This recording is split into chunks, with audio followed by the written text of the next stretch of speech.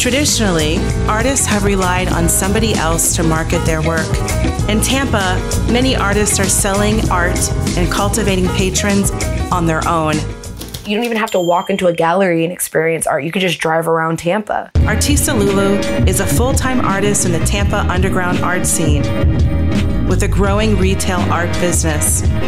To become a successful artist, business, it's an inevitability. There's pop ups, meeting people face to face. I have a website. I sell through my online store as well as through social media. I just decided, I said, I'm gonna make it happen no matter what. And I did. Beautiful, beautiful. Tampa Bay's independent art scene has existed for decades and is growing. Pop up art events can be found in venues and shops across the Bay, some happening weekly. Old Dirty Sundays has been happening for 11 years, every single Sunday night. Visual arts, musical arts, you have clothing designers that come here. It's old school hip hop.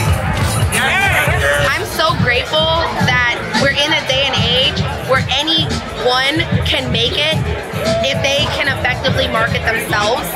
And it's just getting over that little bit of a hurdle, but that's where the value is.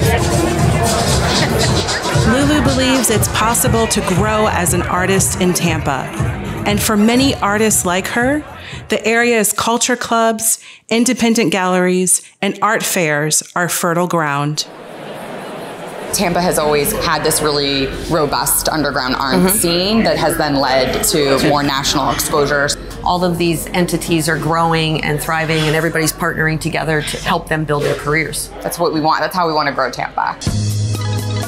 Tampa is steadily growing with the amount of art and the versatility of art that is coming out for an artist. it's gold. I mean, don't tell everybody, but it's gold. Emerging artists like Lulu, who have entrepreneurial gumption, are changing the way art is experienced in Tampa. Don't give up.